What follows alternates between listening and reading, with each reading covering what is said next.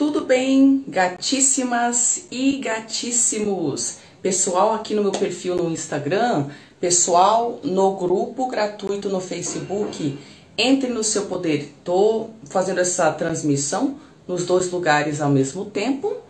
Hoje a gente vai fazer uma mini live, tá? Uma live mais pessoal, é mais um bate-papo e a gente vai falar a respeito do assunto. Quer se libertar de narcisistas? Então você vai ter que se frustrar muito. A gente vai falar sobre como frustração faz parte desse processo de libertação psicológica de narcisistas. Então, pessoal, antes da gente começar, só lembrando para quem tem interesse no workshop Entre no Seu Poder, que o carrinho abre agora no dia 22 de fevereiro e a gente começa a primeira turma de 2021 no dia 8 de março. Então você pode clicar no link que está na minha biografia no Instagram. E se você estiver assistindo este, esta live no YouTube, dê uma olhada na descrição do vídeo que você vai achar aí o link para o workshop Entre no Seu Poder. Então sejam muito bem-vindas, bem-vindos, o pessoal que está se conectando. Oi, Ju, Fábia, Carol, Rosana, Patrícia, muita gente se conectando. Então bora lá.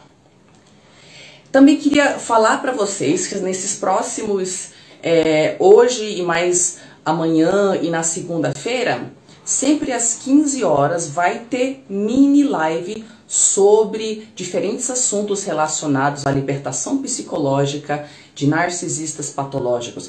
Amanhã a gente vai falar sobre três formas que a minha mãe narcisista acabou me ajudando a cortar contato. Pois é, vou contar essa história para vocês. E na segunda-feira, no dia de abertura do carrinho do workshop Entre no Seu Poder, vai ter uma mini live falando sobre 10 anos atrás eu iniciei o contato zero com a minha mãe. O que que aconteceu nesse meio tempo e o que que eu tive de aprendizados? Para vocês que estão pensando em iniciar um contato zero e tem dúvidas, será que vale a pena? Como é que vai ser depois? O que que eu vou construir? O que que eu não vou construir? Talvez seja uma live útil para vocês. Então bora lá. Quer se libertar de narcisistas? Então você vai ter que se frustrar muito antes. Veja bem, todo o processo de aprendizado para o ser humano e para animais também envolve obrigatoriamente, ou praticamente sempre obrigatoriamente, um processo de frustração. Por quê? Porque seja lá o que for que você está aprendendo a fazer, você pode estar aprendendo a independência emocional, a independência financeira. Você pode estar aprendendo a identificar padrões narcisistas, a falar não. Você está aprendendo alguma coisa aí, não é não?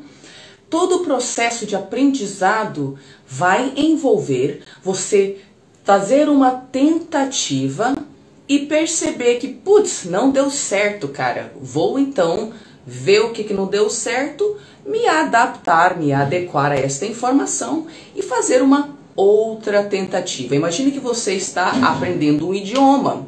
Aí você tá lá conversando com um nativo daquele idioma. Aí você quer expressar alguma coisa para a pessoa e você lá com as suas poucas ferramentas tenta de um jeito. Aí o nativo olha para você assim. Aí você pensa, putz, minha tentativa foi frustrada. Não consegui me comunicar. Caramba, então daquele jeito não funcionou. Já sei. Aí você bola uma outra forma de se expressar e fala de um segundo jeito. Aí o nativo continua olhando para você. Aí você pensa, vixe, tá bom, fui frustrado uma segunda vez na minha tentativa de me comunicar.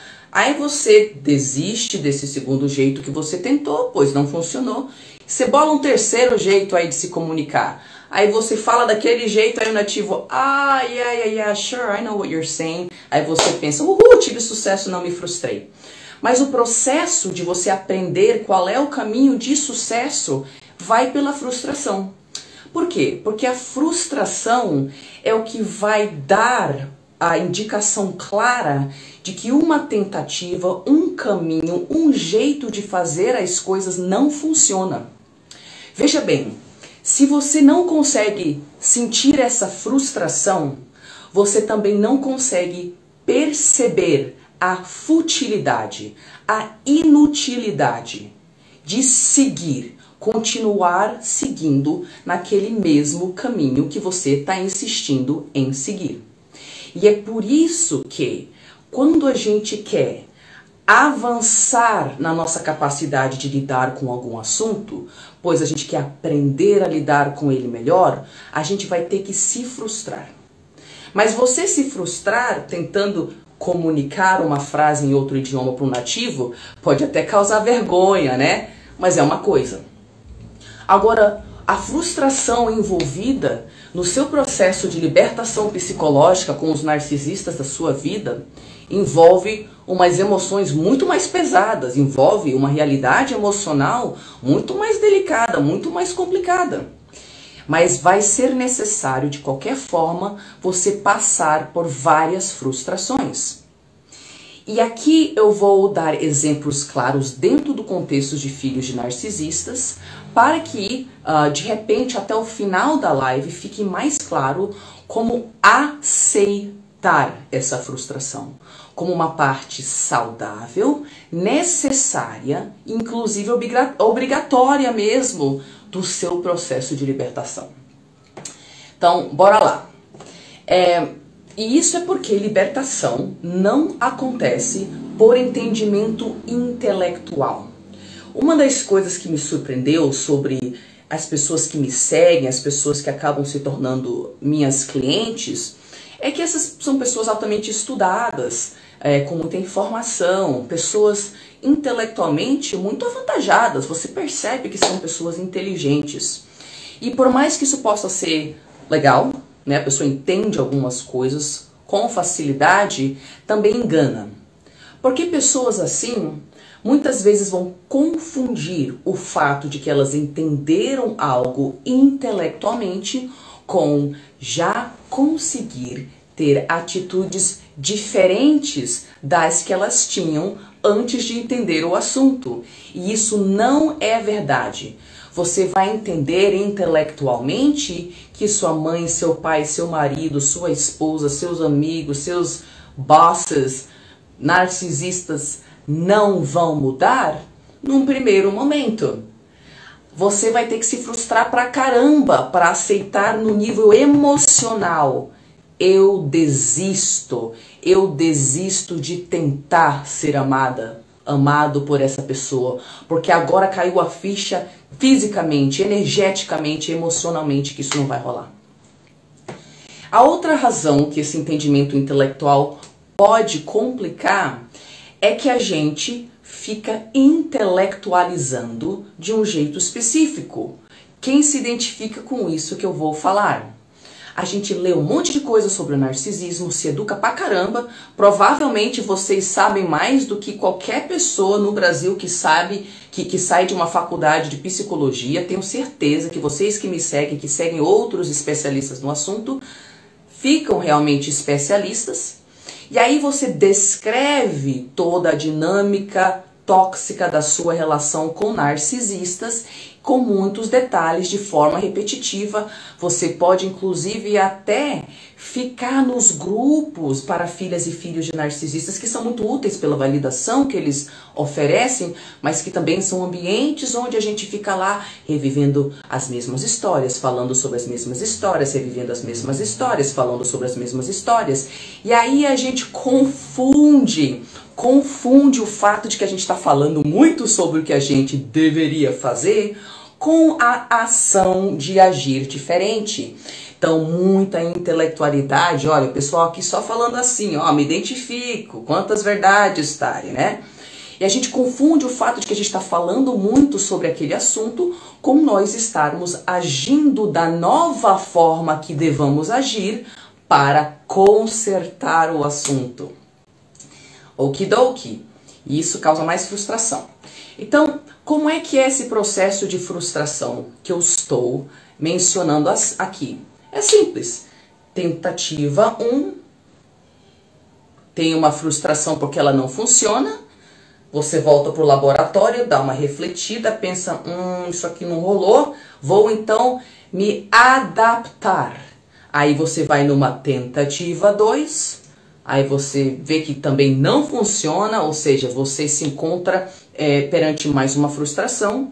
Aí você vai de volta para o laboratório e pensa, vou me adaptar mais uma vez. E nessa, nesse vai e volta de tentativa 3, frustração, adaptação, tentativa 4, frustração, adaptação, tentativa 5, frustração, adaptação, que você finalmente chega na, no entendimento emocional do que é e não é possível na sua relação com os narcisistas na sua vida. E para contextualizar, eu vou dar um exemplo pessoal meu de como que foi o meu processo de frustração. Então eu já tenho vídeo explicando é, como é que foi o meu, processo de cortar contato com a minha mãe no canal, tá? Eu acho que o nome do vídeo é um pouquinho sobre a minha história de superação com minha mãe narcisista. Mas aqui eu vou resumir a parte onde eu falo da frustração. Então, para mim era assim. Um, para mim, o meu relacionamento com minha mãe ficou particularmente desafiador a partir da, mor da morte do meu último padrasto. Porque daí ela ficou sem suprimento narcisista e eu e minhas irmãs percebíamos desde sempre que quando a minha mãe não tinha um marido, o abuso para cima de nós era muito mais pesado. Porque daí a gente virava alvo, a gente ficava rezando para a mãe ter um marido para que a gente, né, não sofresse tanto. E com a morte do meu último padrasto, a minha mãe descompensou, descompensou. E aí eu passei por um processo de frustração, um, onde eu tentei fazer funcionar, né?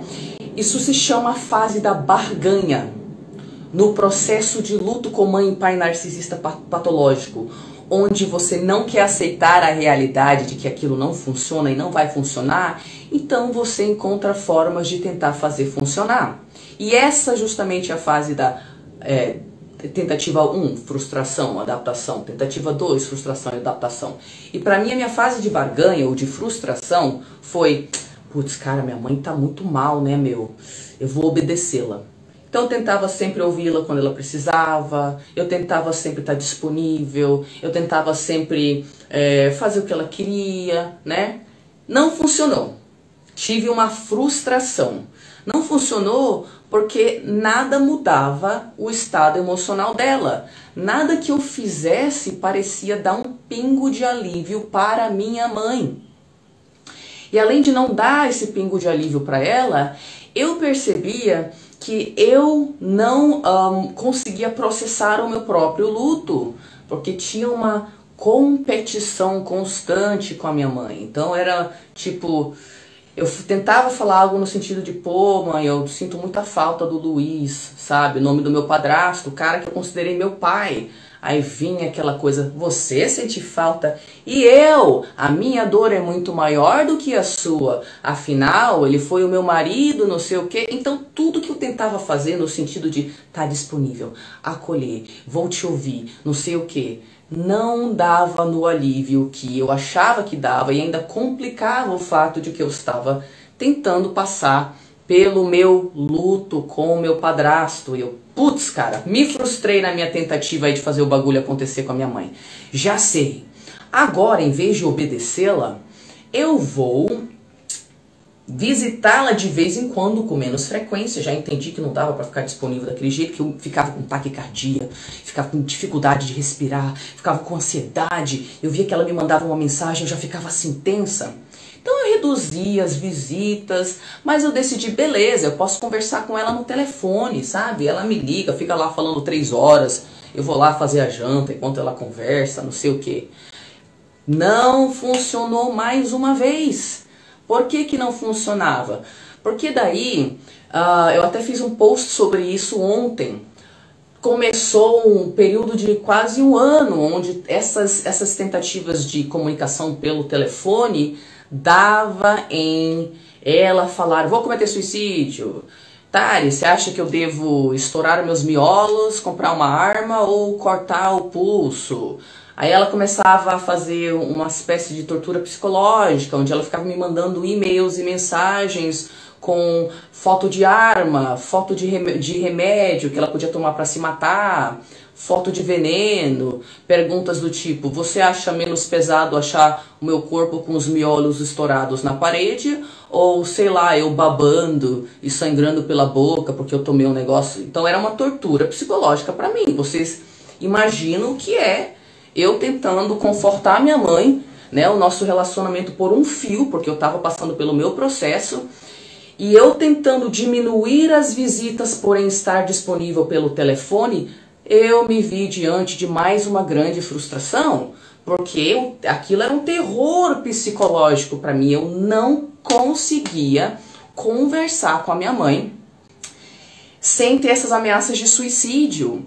E eu era uma boazinha patológica. Na minha cabeça não tinha qualquer possibilidade de reação minha, senão só ficar lá acolhendo, acolhendo, acolhendo, acolhendo. Afinal, sua mãe fala que vai cometer suicídio. Você vai fazer o quê? Falar para ela: tá bom, mãe. Hoje é isso que eu faria. Mas assim, naquela época, vocês entendem, né? Eu não tinha essa força, não. Eu não, não achava nem que isso era possível para mim. Mas eu me encontrei diante de mais uma frustração. Aí eu tentei uma terceira tentativa. Pensei, cara, eu vou me esquivar. Eu vou me esquivar. Eu não vou para lá, eu vou demorar para responder mensagem, eu não vou olhar e-mail, não sei o que. Eu respondo de vez em quando. Não funcionou.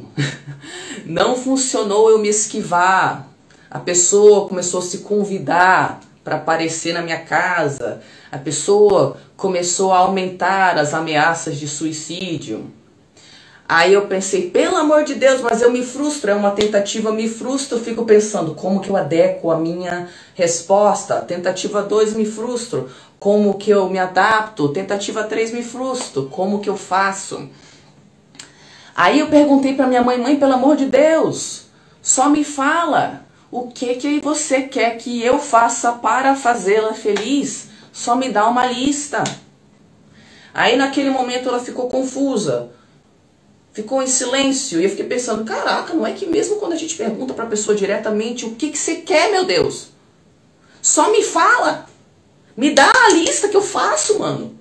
Mesmo assim, a pessoa eu percebi não sabia o que faria ela feliz. E eu, como é que eu ajudo o ser? Eu pergunto diretamente, não tem resposta, meu. O que que eu faço?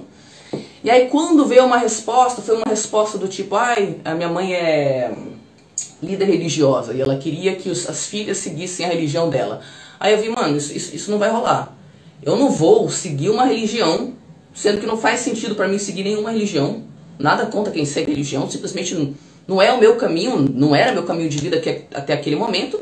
E me vi diante de mais uma frustração. Eu não vou fingir que eu sigo, sigo uma religião para minha mãe ser a minha líder espiritual da minha mente, que era o que ela queria. Que a gente se submetesse à liderança espiritual dela. Imagina.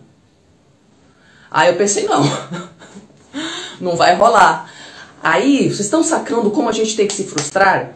Porque ah, nesse processo aí da barganha, a gente tenta tudo que a gente acha que vai fazer o negócio funcionar. E você, se você tiver uma mãe com, com um transtorno de personalidade mesmo, nada vai funcionar. E é nesse processo de barganha, de frustração, que vocês vão conseguir diferenciar entre quem tem traço narcisista e eu ainda tenho o poder de melhorar essa relação e quem tem algum transtorno de personalidade ou uma estrutura fixa de personalidade. E aí, gente, é na frustração que você vai conseguir aceitar isso. Aí, olha só, última tentativa. Eu sentei comigo lá, pensei, cara, eu tentei X, tentei Y, tentei não sei o que. Conversei com minhas irmãs, elas não aceitavam muito o negócio do narcisismo no início. Eu já sei, pensei. Eu não vou seguir a religião dessa pessoa. Já sei. Última tentativa. E eu combinei comigo que seria a minha última tentativa. Falei, se eu não sei fazer minha mãe feliz, já sei o que eu vou fazer. Eu sou comissário de bordo, eu tenho a capacidade de levá-la para viajar para destinos internacionais por uma fração do preço que outra pessoa pagaria. Eu vou bem catar minha mãe, viajar com ela umas duas vezes por ano. A gente vai para Paris, a gente vai para China, a gente vai para Roma, a gente vai para não sei aonde. Pronto. A gente fica aí um, umas duas viagens por ano aí passeando pela Europa, por não sei aonde.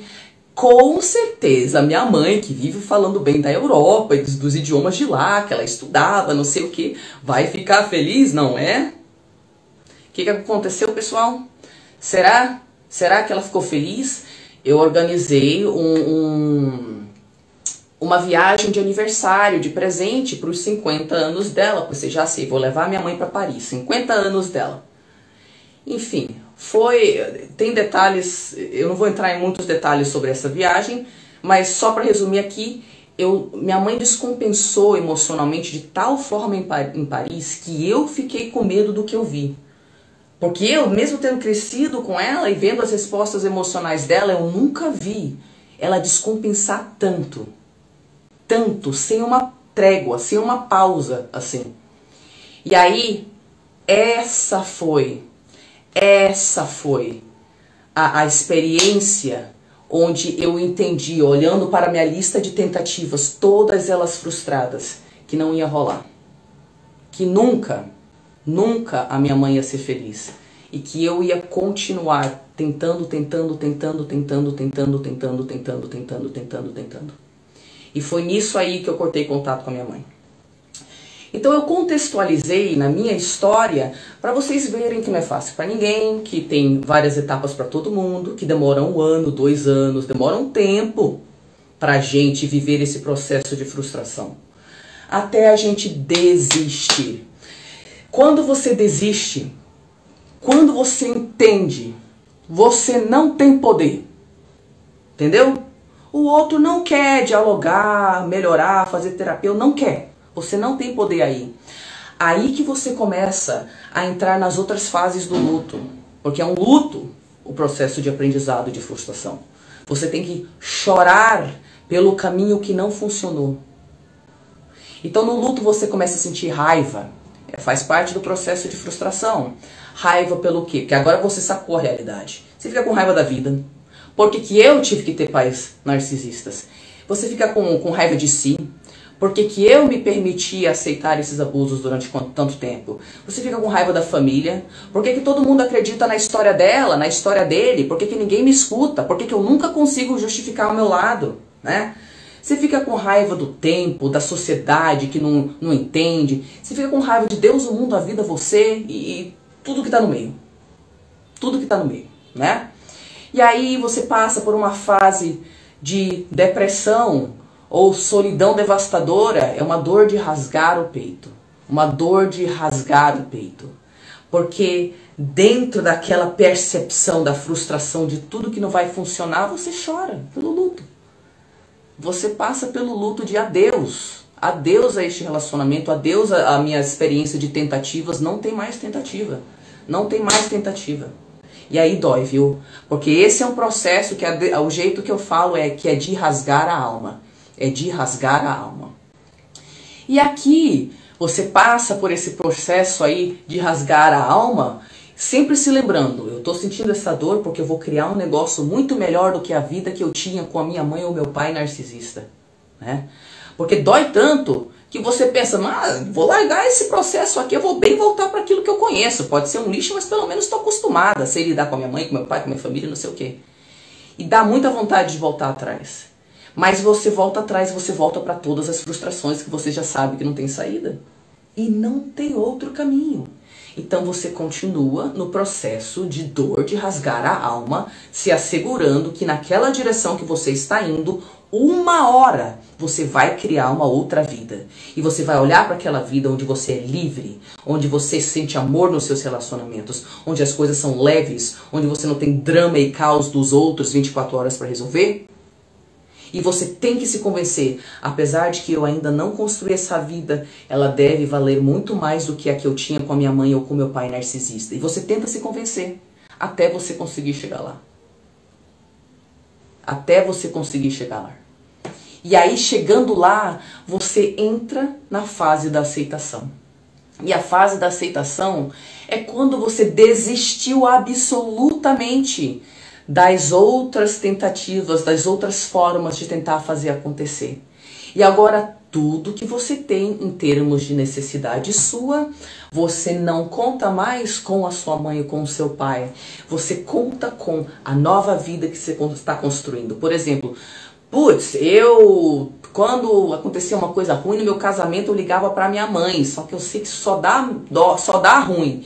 Então, na fase da aceitação, você nem tem a expectativa de poder ligar para ela. Você já se pergunta quais alternativas eu tenho. Tô mal emocionalmente, tenho que falar do meu casamento. Ah, já sei. Eu conheci aquela menina nova lá da aula de, de dança do ventre que eu tô fazendo e ela parece uma pessoa empática. Eu vou tentar mandar uma mensagem para ela, ver se ela consegue conversar comigo e tal. Vamos ver se se rola, né? A gente bater esse papo. Aí na outra vez que você costumava depender da sua mãe ou do seu pai para alguma coisa, tipo, ai caraca, esse mês foi complicado, eu tive que comprar uns negócios pro, pro meu filho, ele adoeceu, tive que levar pro hospital, comprar remédio, não sei o que. Putz, como é que eu vou pagar esse cartão de crédito? Meu Deus do céu, não sei o que. Aí antigamente, ai, mamãe vem e me salva. O papai vem e me dá aquela, né, aquela graninha para me dar aquela ajudada. Mas você sabe que isso não é mais uma opção, porque se você pedir ajuda, vai ter uma dívida aí para você pagar que é eterna. Então você não vai mais nisso aí. Na fase da aceitação, você se liberta absolutamente da expectativa de receber algo por aquele caminho antigo. Aí você se pergunta, putz, cara, não posso mais contar com mãe e com pai. Como que eu vou resolver esse negócio do cartão de crédito? Aí você pensa, ai cara, na boa, eu não vou pagar a conta de luz porque eu não vou morrer, não vai dar nada de ruim se eu demorar umas duas semanas para pagar essa conta de luz. Eu vou fazer aquele atendimento com aquela cliente, vai entrar grana daqui umas duas semanas.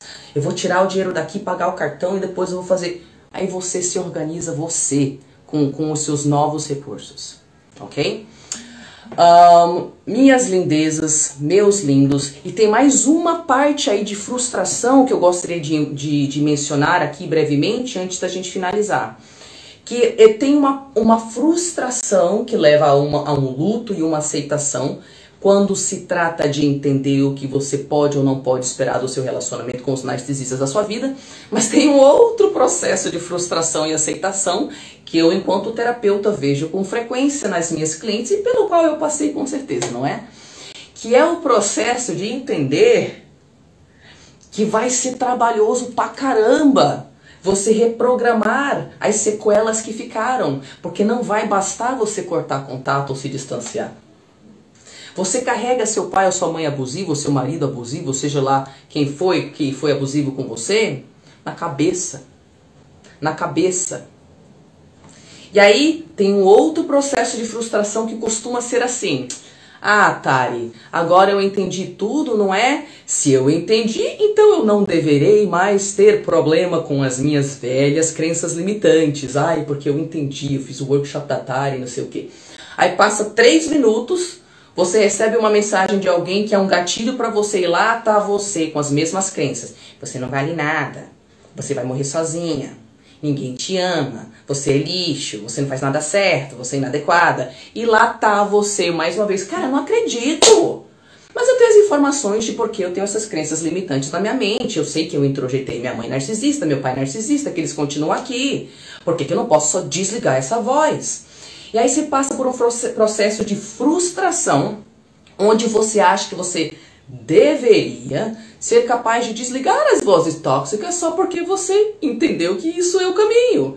E aí você tenta desligar as vozes tóxicas e você não consegue. Aí você se pune. Eu sou lixo, eu não consigo. Aí você tenta mais uma vez e vem mais uma voz tóxica. Ai, porque eu deveria ser mais forte, eu deveria ser mais isso, aquilo, aquilo, outro. E aí eu, eu, enquanto terapeuta, eu fico aqui calmamente esperando a minha cliente entender que ela vai ter que desligar as vozes tóxicas momento a momento, enquanto elas surgirem para o resto da vida.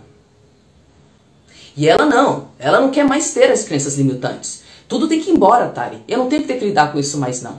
E aí são uns três meses, três a seis meses que a cliente me culpa, pelo que não dá certo, pula a sessão. Eu não acredito que eu estou tendo, tendo dificuldade com essa mesma questão. Eu fico lá pacientemente esperando a cliente passar pelo processo de entender. Você vai ter que lidar com a sua própria mente para o resto da sua vida. E, e, e, e, não tem nada que vai desligar suas sequelas da noite para o dia só porque elas são desconfortáveis. E aí, quando a cliente, o cliente aceita que daqui a 10 anos, gente, faz 10 anos que eu iniciei meu, meu processo de contato zero com a minha mãe. Até hoje eu tenho crença limitante que brota.